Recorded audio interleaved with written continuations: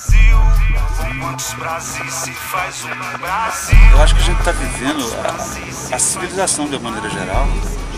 É, um novo momento, um momento inclusive que a gente tem que refazer as equações. É, tudo que se mensurou na área de engenharia civil, é, de climatologia, de geografia, hidrografia, tudo isso precisa ser revisto. Porque os conceitos e os limites estão sendo extrapolados.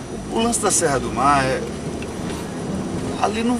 Ali, não, ali é, é, uma, é uma questão muito.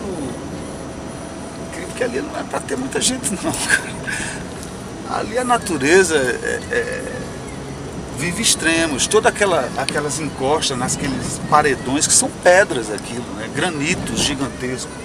E entre essas pedras se acumula um pouco de terra, e aí é que surge uma floresta. É tudo muito frágil.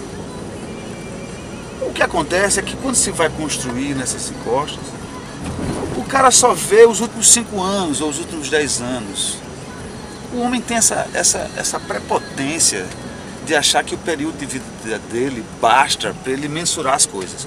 Aí, aí você descobre que de 50 em 50 anos tem uma chuva maior. E que de 100 em 100 essa chuva triplica. E de 500 em 500 varre tudo.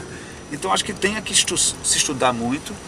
Caso da Serra do Mar, como todas essas serras que recebem esse impacto dessa umidade que vem do mar e quando bate se acumula, vai sempre cair muita água. Então para construir tem que se estudar tudo isso. Não existe o Brasil.